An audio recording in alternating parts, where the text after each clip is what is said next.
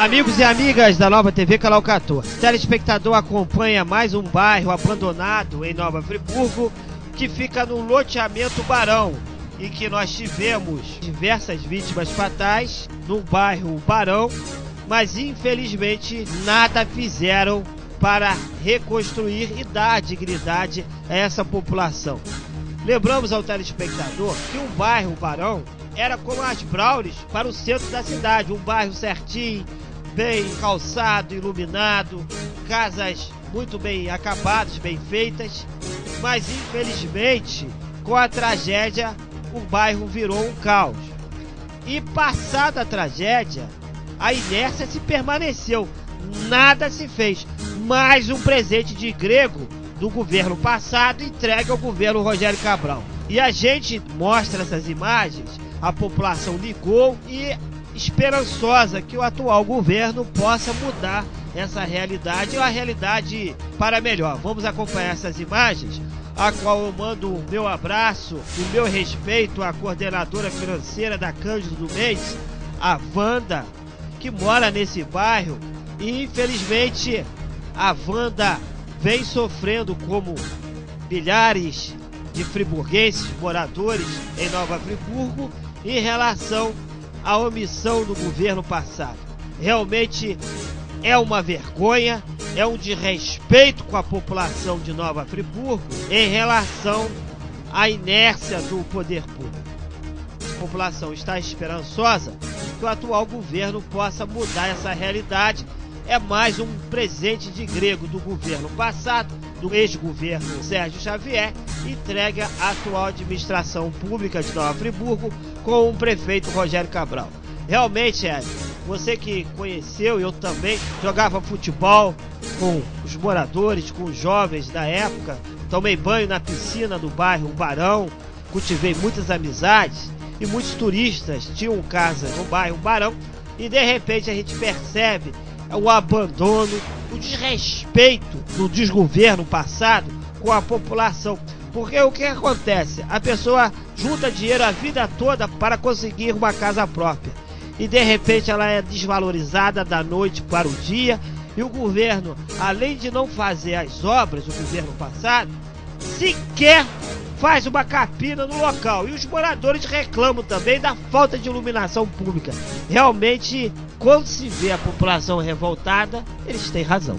É o bairro Barão, eu conheci o bairro Barão há muito tempo, vim fazer, vim criar o Barão. E hoje, hoje ele está abandonado, não tem capina, não tem nada ali, não tem obra. A população ainda corre risco de morte, uma vez que as obras de contenções não foram feitas, realmente é uma vergonha. Eu sou do tempo que o político era respeitado. Eu moro em Conselheiro há 38 anos. Então, minha gente, o bairro Barão, ele, a pessoa paga imposto, quer morar bem, quer receber uma visita de fora e não consegue por quê? Porque é maltratada mas eles pagam o imposto em dia, pagam o imposto certinho, água, luz, tudo certinho. Então nós pedimos, o nosso prefeito que entrou agora, toma uma providência, ele tem certeza que ele vai tomar. A gente tem que falar porque existe coisa que o ex-prefeito deixou. Quando eu era administrador do Cônigo, na época, os moradores iam lá, capina minha rua. Eu mandava uma equipe lá para capinar questão do plantão, né? Constantemente, no dia da semana, dia útil, você tinha a equipe que limpava e zelava pelas ruas, porque cada rua é um patrimônio do município. Você calçar uma rua, fica 100, 200 mil reais. Se você abandonar uma rua, deixar virar crateras, descalçar a rua em relação às esburradas, você está sangrando os cofres públicos. Então, cada rua é um patrimônio, deve ser tratada como um santuário. Isso da função do servidor público. E é o que você fazia como administrador no Cônigo, que é o respeito pela coisa pública. E quando a população percebe o respeito do administrador, a população o reconhece e o exalta. Hoje o que a gente vê é uma desmoralização da classe política.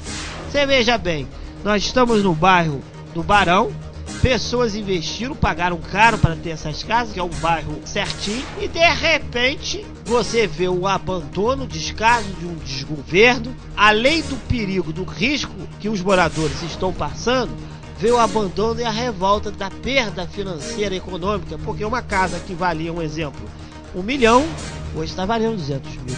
É verdade. E eu, como administrador do Cone, eu me lembro muito bem que agora vem o carnaval, o carnaval está próximo. Eu no carnaval, eu iluminava o centro do cônigo todinho. Botava gambiarra, botava tudo no cônigo, no centro do cônigo. Eu iluminava o cônigo na época do carnaval. Então, eu acho que o administrador tem que fazer isso para alegrar o povo, para o povo ser feliz. Mas é um lugar bonito, um lugar que você chega, turismo. E eu me lembro muito bem, Reginaldo Faria tem casa aí no cônigo então tem muito artista que tem casa no cônigo. Então precisa que o cônigo fique bonito. Telespectador então acompanhou essa matéria no loteamento Barão e Conselheiro Paulino e que a população aguarda que o poder público agora com o novo prefeito existe toda uma esperança depositada a ele possa de fato realizar as obras e retornar a alegria, a eficiência e a segurança que sempre foi um bairro, a população pagou para isso, que é o bairro do Barão. Então, vamos aguardar a fim de que o prefeito possa descascar esse abacate deixado pelo desgoverno passado, desgoverno Sérgio Xavier. Lembramos então ao telespectador da Nova TV que o nosso telefone é 2522-9058. Anote nosso site www.novatvfriburgo.com.br. Lembre sempre, Nova TV é a nossa força, é a nossa voz.